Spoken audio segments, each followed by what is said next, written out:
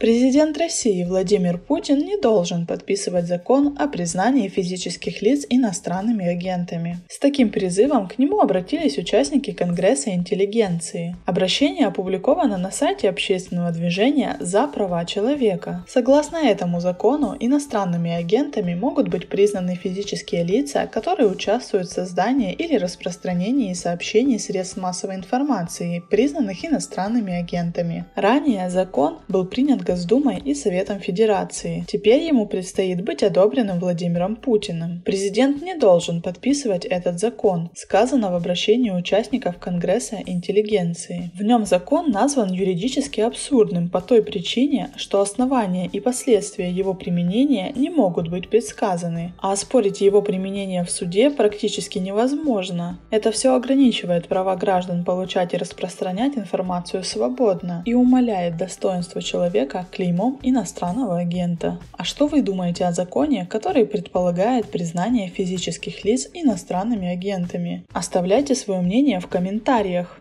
Мне будет очень интересно его узнать. А также, если вам понравилось видео, оцените его лайком, колокольчиком и подпиской на канал, чтобы быть в курсе всего самого нового и самого сочного. Всем удачи! Всем пока-пока!